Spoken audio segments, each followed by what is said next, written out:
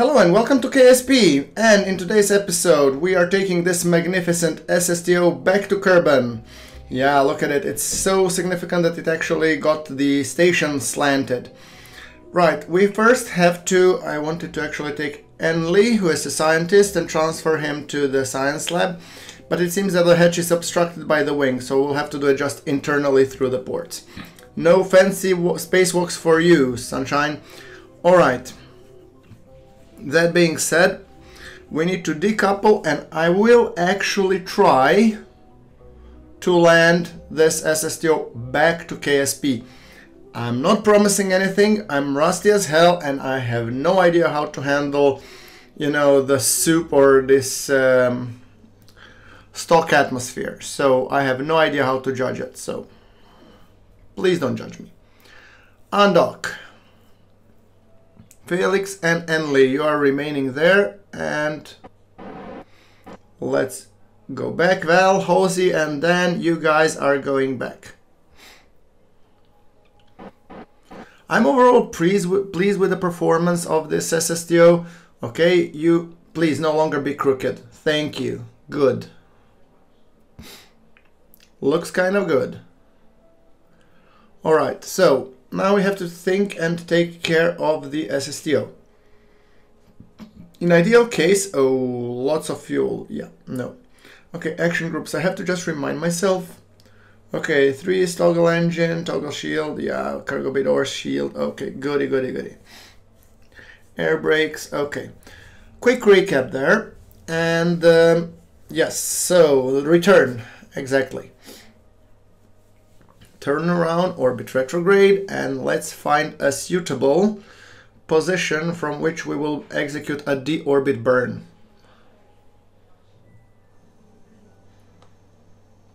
Like I said, I have absolutely no idea to judge how it goes, so we'll just burn a little bit with RCS.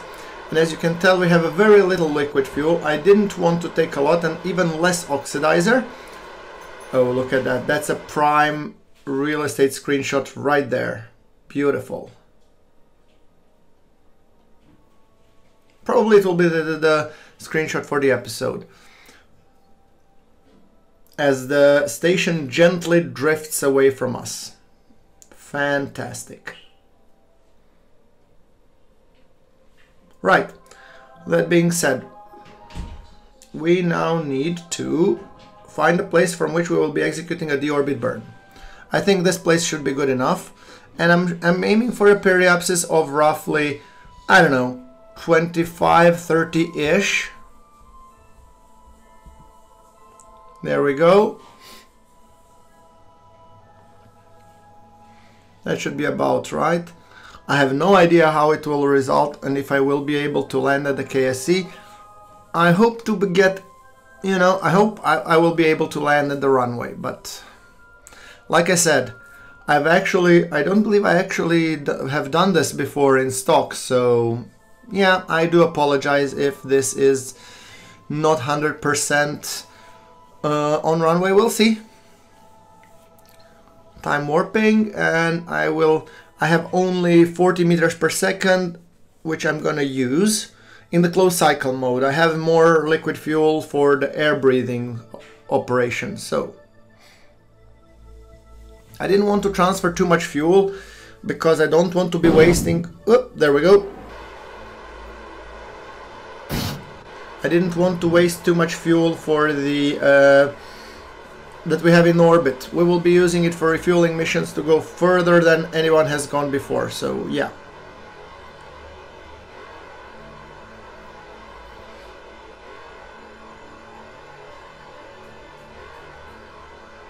Now we are using RCS to the orbit. Seems like RCS is prime mm, propellant for this craft. And it's doing so marvelously. The only problem is its totally abysmal thrust to weight ratio. So we might as well, you know, put it to good use.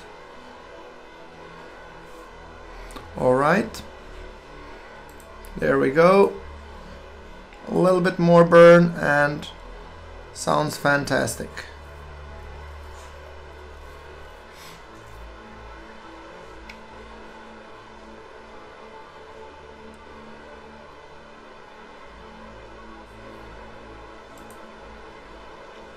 Forty kilometers periapsis, and I'm gonna reduce it somewhere to thirty-ish. Hopefully.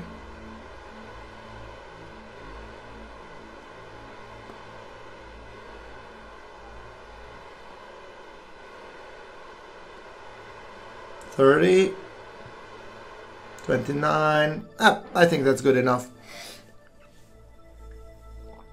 Time to turn the craft prograde. Let's turn the camera. Oh, this will be a very nice angle. Just have to align it correctly. There we go. Beautiful.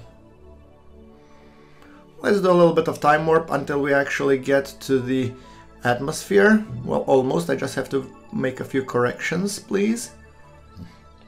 There we go. Opening up the air brakes and also the elevons.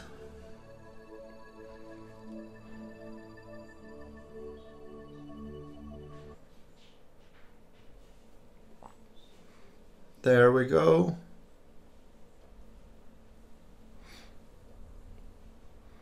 Okay, time for descent. Let's see, is it too early to be making these maneuvers? Probably it is. Yeah, the atmosphere is way too thin for that. It's not having any effect whatsoever. Okay, we're gonna just wait a little bit all of our air brakes and then all of the stuff is already deployed. So I guess the most critical part is that we don't want to go in, in too deep too fast. And as always, I'm always a little bit concerned when it comes to it because, I mean, this is not a heat shield and there is no ablator and these kind of things. However, the aircraft parts have been made a little bit more, you know, sturdy. I think it was in 1.6 or somewhere. I, I don't recall exactly during when except for the, the landing gear. That one is still bouncy bouncy. Now, that being said, we are crossing the 50s. I think once we actually cross the 55, I shall be starting to execute the maneuvers. Right, let's see, around 55-ish. Between 55 and 50, actually, to be honest. I think uh, there is there are no signs of heating. Oh, look at that sunrise. Gorgeous, isn't it? There we go. Let's start executing the maneuvers. Let's see if they do anything. Oh, they do. And they slow us down significantly. Oh, we have the heating effects. Well, as always, I'm, I'm very concerned at these higher speeds. However, we are still high enough in the atmosphere so that we could bleed this off. And this uh, SSTO is one big air brake, so we should use it as such. There we go. Come on. Onwards and upwards. There we go. 22 kilometers per second. No, no, 22 kilometers. 2.2 kilometers per second. Sorry. Yeah, that would be, I would be already very crispy if I went 22 kilometers per second. There we go. Come on, return, roll, and another braking. Pause. There we go. The sooner we come to around 1800, I'm probably gonna stop doing these maneuvers because I don't want to decelerate too fast because I'm a little bit concerned that I will undershoot and won't be able to land at the KSC. And the heating effects are not that terrible at the moment. Okay, so let's stabilize you now. Okay. Stop dancing on all axes, please. Okay, 1800, good. Pitch your nose up a little bit. Now I want to be decelerating a little bit slower, good. Okay, not that much.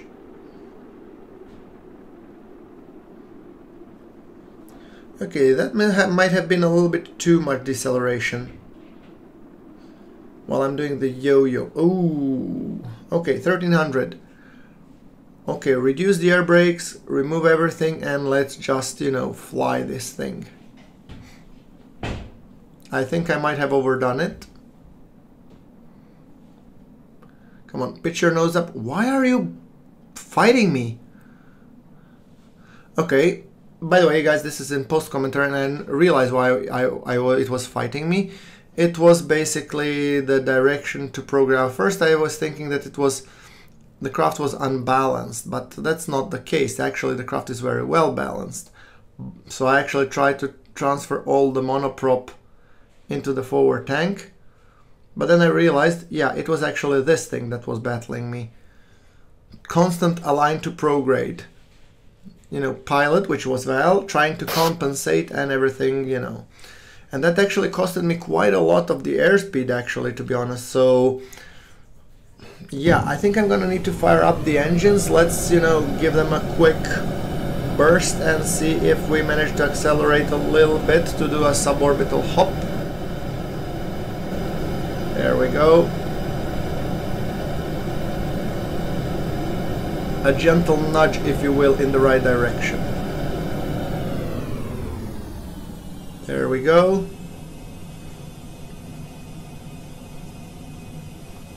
I mean, our um, Delta V is not exactly stellar, so I'm a little bit worried that if we're gonna make it. The smart money is on no, but you know, maybe I should get my Kerbals out and push.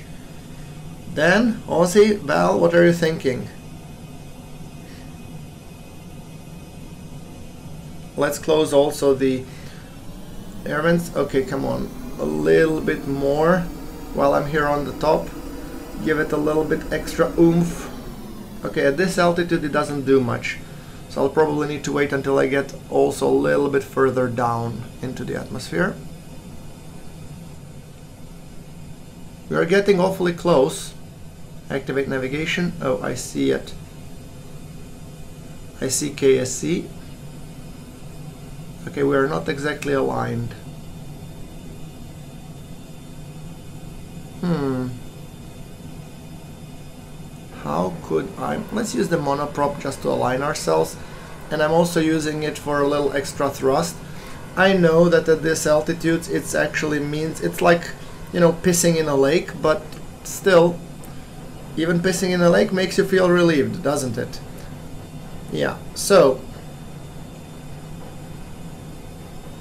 now let's fire up the engines for a little bit of thrust. Okay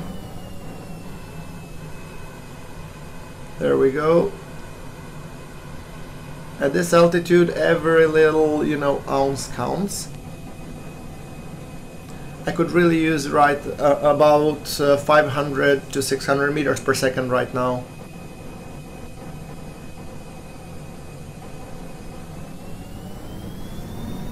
Come on. You can do it. You see, the problem is that I'm going too slow and these changes if I could accelerate to 800 this would be problem solved. But like this I'm just afraid that yeah I, I'm not gonna be able to do too much good here. But I can already see the KSC oh. Val what do you think? You agree right? 250 meters per second there's no way in hell I'm actually getting to KSC I cannot glide that far in this thing. Do we get extra lift from this? No, I, I was just thinking that maybe I had a, a small spare tank that would give me just a little, you know, like, I don't know, 3 400 meters per second delta V, because that would have been splendid. At this moment I'm actually just hoping that I'm able to glide over that small ridge over there, over that small hill, because if I start landing on the hill it will be very bumpy. That's something that I think I will be able to do, but reaching KSC, nah.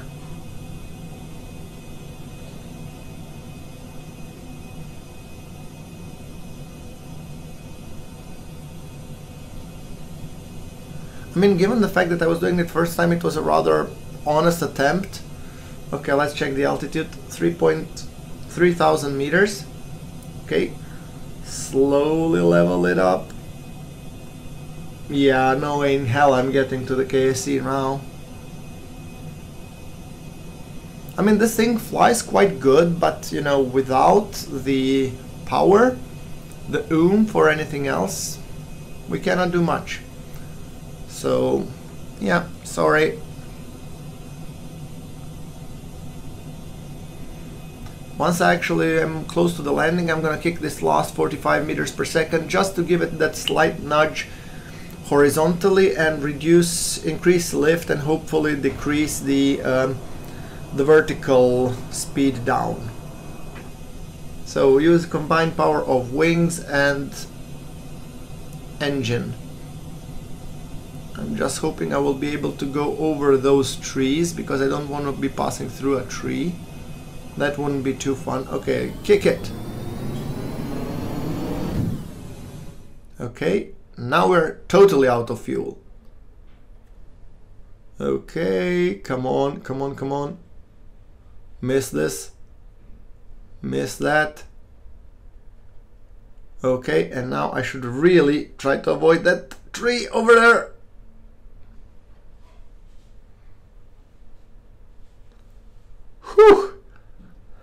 This was close. Okay, popping the brakes. Yeah, actually driving, I thought about it, but I don't think it would really be the option. It's just too far. So I think what I'm gonna do is I'm gonna be popping the brakes, hitting a quick save and uh, wrapping it up for this episode. So yeah, hmm, there is no way in hell where I could be able to get there, or is it? Let's just give it a try.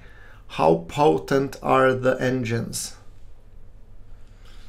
You can do it! Oh! well, to be honest, if you want to watch me, you know, drive to the KSC, let me know, but I think uh, this would take probably an hour or two and I really don't feel like, you know, boring you to the death with it. So I'm actually going to wish you thank you very much for watching. Like if you like this episode, hit subscribe for more and I'm going to see you in the next one. Thank you very much for watching. This is GrunfWorks signing off as I recover this vessel. And let's see. We have successfully recovered the vessel. All the astronauts are back. So, like I said, thank you very much for watching. I'll see you in the next one.